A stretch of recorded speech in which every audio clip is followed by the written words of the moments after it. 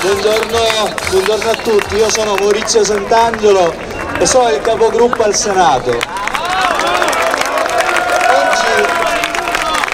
sarei dovuto andare dal presidente Napolitano e in maniera formale, eh, nel rispetto delle istituzioni, avrei dovuto dire buongiorno signor presidente.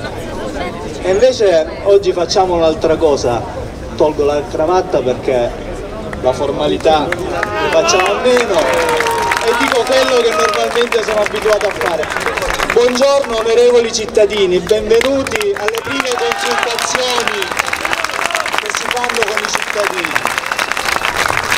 Vi hanno già, già detto i, miei colleghi dei motivi che ci hanno spinto a non partecipare a questa, a questa farsa lo abbiamo detto, una partita dove le regole sono state truccate e si conosceva già prima il risultato, quindi non avrebbe avuto, avuto senso. Eh, realmente quello che è accaduto soprattutto negli ultimi giorni eh, ha dell'incredibile.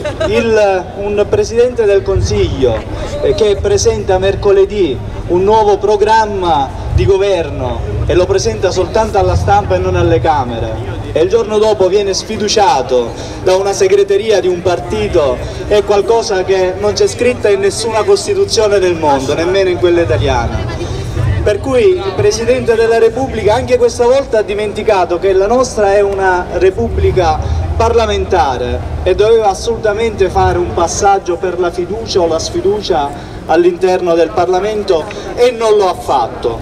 Quindi sicuramente questo non è un rispetto per le istituzioni è qualcosa che noi non, non accettiamo. È il primo caso che un Presidente eh, del Consiglio venga eletto come eh, sindaco. Avremo un Presidente del Consiglio che è eletto come sindaco, quindi noi a questa farsa non, non ci stiamo eh, continueremo a comunicare così come stiamo facendo oggi con, con, con voi eh, e nel frattempo eh, magari il Presidente della Repubblica eh, si collegherà ai streaming e vedrà quello che sta accadendo anche oggi davanti Piazza del Parlamento. Grazie.